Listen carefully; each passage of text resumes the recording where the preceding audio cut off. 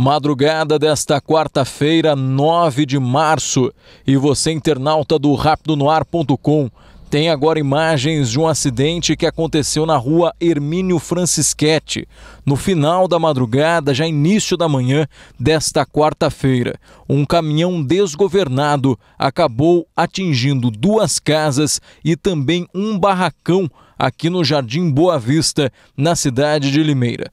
Por sorte, o caminhão de grande porte não estava carregado e ninguém acabou se ferindo. O motorista do caminhão misteriosamente deixou o local após o acidente e não foi mais localizado. A respeito da ocorrência, a gente conversa agora com o sargento Jorge Luiz, da Polícia Militar. Quanto à informação se foi freio, foi um mal súbito do motorista ou até outra coisa, não temos essa informação. Bem como o motorista até agora não se apresentou. Apenas aí o pessoal da empresa informando que ele estaria em estado de choque, mas até agora não se apresentou para poder aí confirmar a, a sua versão. Então estamos no aguardo, é, não comparecendo, o caminhão será é, recolhido até o plantão e apresentado essa novidade aí à autoridade policial civil. Esse caminhão desgovernado ele atingiu duas casas, atingiu também a rede elétrica, atingiu a rede da Odebrecht, danificou muita coisa por aqui, né, sargento? É, foi necessário aí o, o emprego aí de todos os órgãos, né? Ah, da, da infantaria da Polícia Militar, o bombeiro da, da Polícia Militar, a Defesa Civil, que acabou abalando a, a estrutura de algumas residências, também o trânsito para ajudar a sinalização, é, a Electro, que fios aí da rede elétrica acabaram é, caindo aí sobre o solo devido aos postes aí serem totalmente arrancados, árvores e também odômetros que tinha aí é, em alguma residência foi danificado, vazando água aí também solicitada ao Debreche. As causas desse acidente até o momento não, não se sabe, né, sargento? Só se sabe que esse caminhão acabou uh, desgovernado, atingindo tanto as casas quanto a rede elétrica e tudo que o senhor acabou de descrever, né? Mas o motivo de tudo isso ninguém sabe. Isso, o motivo a gente não sabe. O condutor não se apresentou para dar a sua versão e nós também não estamos é, fazendo contato para pegar a sua versão e ver o estado do, do motorista, se está no estado normal ou outra coisa parecida.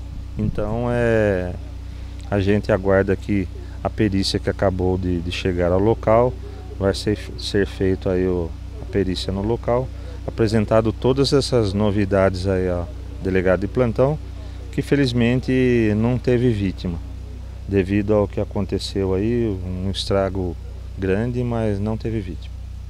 A gente pode colocar que por muita sorte não houve vítima, né, sargento? Pelas proporções, pela força desse veículo, numa rua bastante íngreme aqui, poderia ter acontecido uma situação bastante grave. Isso, é, com certeza. É, devido aí o caminhão também não estar carregado, é, conversando aí com populares aqui que residem no local, esses caminhões aí geralmente é, ficam estacionados aqui nessa descida aqui, né? É, carregados.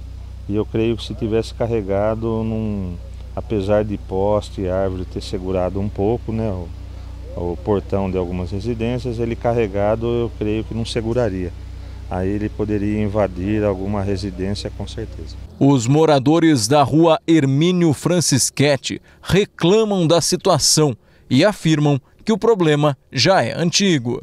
Olha, senhor Lucas, é o seguinte, a gente já vem, já sou morador antigo na, na, na, no bairro, moro na minha casa aqui.